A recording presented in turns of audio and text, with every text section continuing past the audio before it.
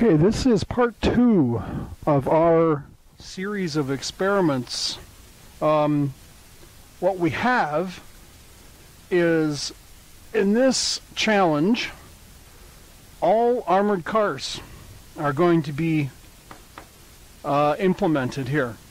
So we've just dished them out. Um, the Soviets have two BA 6s. Um, and for lack of other armored cars, we're giving them a Daimler and uh, three American M8s. So uh, what this translates to in armament is 47 millimeter anti-tank gun, uh, 14.7 millimeter essentially heavy machine gun with a uh, light machine gun, two thir- uh, three 37 millimeter anti-tank guns, and another 47 on the BA. Over here, uh, we have the infamous uh, 222 uh, armored car of the Germans, 20 millimeter anti-tank gun, 20 millimeter anti-tank gun in the next one, and as a matter of fact, in the half-track, small half-track um, version, uh, we have another, as a matter of fact, 20 millimeter anti, well, we'll call it an anti-tank gun, but it's really well, it's not a machine gun. It's a clip-fed, um, rapid-firing 20 millimeter. And then uh, again, in the um, uh, 221s, we have light machine guns and uh, 20 millimeters.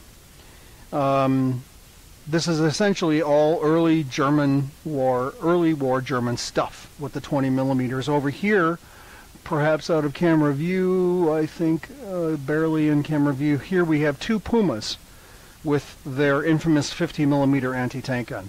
Uh, clearly a very strong vehicle um, in this game. Um, equivalent to the 47 of the R- Russians, but uh, actually somewhat superior.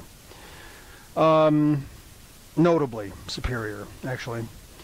So, it's going to be quick and it'll be horrible. Uh, so that's why we're doing it, because we all know when uh, troops are are when vehicles are on the road, they move better. When they're off the road, and when they are all wheeled, which is what these are, except for this one half track back here, uh, they have uh, potentials of getting stuck cross country.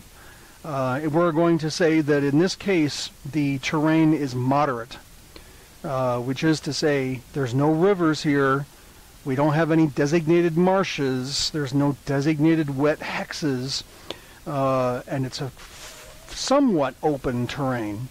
Uh, but leaving the road will cause a check if you leave it at anything but half your speed. And uh, going up a hill, the same. If you do it at your full speed, uh, you will cause a check for getting stuck.